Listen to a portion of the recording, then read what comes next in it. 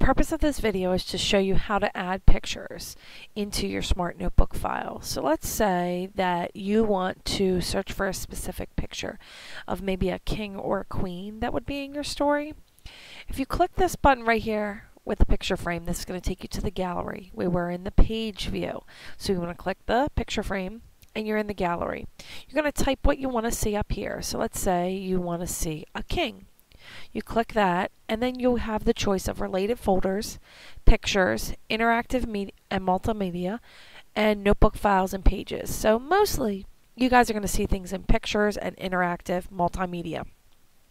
The related folders will give you things that might relate to a king or queen. So let's click pictures, click that triangle, and you can see all kinds of king pieces. There's crowns, there's kings in cards. There's all kinds of pictures of specific kings. So here's King George. We've also got like just a generic king and queen.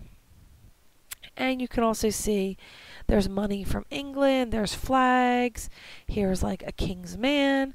So whatever you want to click, you find, click, drag the picture in. Once the picture's there, if you get the blue lines going around, go to the bottom right hand corner, click and drag. You can make your picture as small or as big that you need to. But remember, you want it to all fit on one page because as you're narrating your story, you don't want people to have to scroll up and down to be able to see what you've done. And that's how you add a picture from the gallery.